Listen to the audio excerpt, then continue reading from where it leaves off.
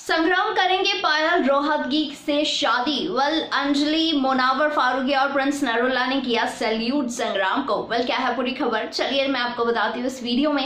Hello and hi everyone this is Keshav and welcome to our channel जी हाँ संग्राम जो कि फैमिली वीक में फैमिली डे पर जो है, पायल रोहतगी के लिए आए, जहाँ पर बाकी के कॉन्टेस्टेंट्स के लिए वो लेकर आए चॉकलेट्स तो वहीं लेकर आए पायल रोहतगी के लिए एक गुलाब का फूल।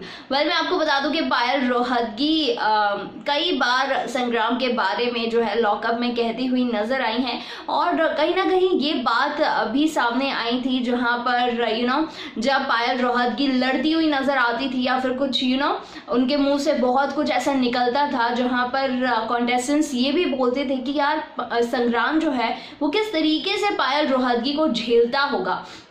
वेल जब संग्राम आए लॉकअप के अंदर तभी उन्होंने बताया कि पायल रोहतगी जैसी वो अंदर है, वैसी वो बाहर भी है। और इसी पर जो है मुनावर फारूकी कह देते हैं कि, यार, आप कैसे झेलते हो पायल रोहतगी को? मतलब सल्यूट है आपको। और ऐसे में प्रिंस नरोला अंजलि, जो कोई भी मौजूद होते हैं, वो सल्यूट करते हैं संग्राम को पायल रोहतगी को झेलने के लिए। वहीं संग्राम कहते हैं कि ये इतनी ही जेनविन है और यू नो ये बाहर बहुत यू नो जैसी ये दिखती है, ये वैसी ही है। कोई इसके अंदर यू नो डबल फेस नहीं है। हमेशा ये सही का साथ देती है। इस तरीके से जो है संग्राम कहते हुए नज़र आते हैं। वेल संग्राम ये भी कहते हैं कि बस लॉकअप के बाद में जो है हम लोग शादी करेंगे। और शादी में मैं अभी से सभी लोगों को इनवाइट कर रहा हूँ और सभी कंटेस्टेंट्स को जो है वो हम दोनों की शादी में आना है।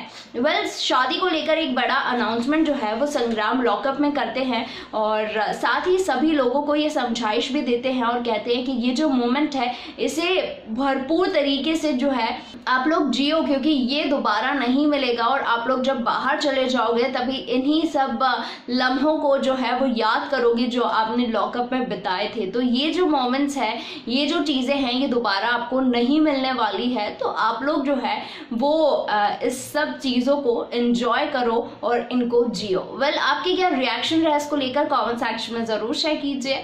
बॉलीवुड टेलीविज़न और एंटरटेनमेंट से रिलेटेड तमाम अपडेट्स के लिए बने रहिए हमारे साथ यानी हमारे चैनल पर। Thanks for watching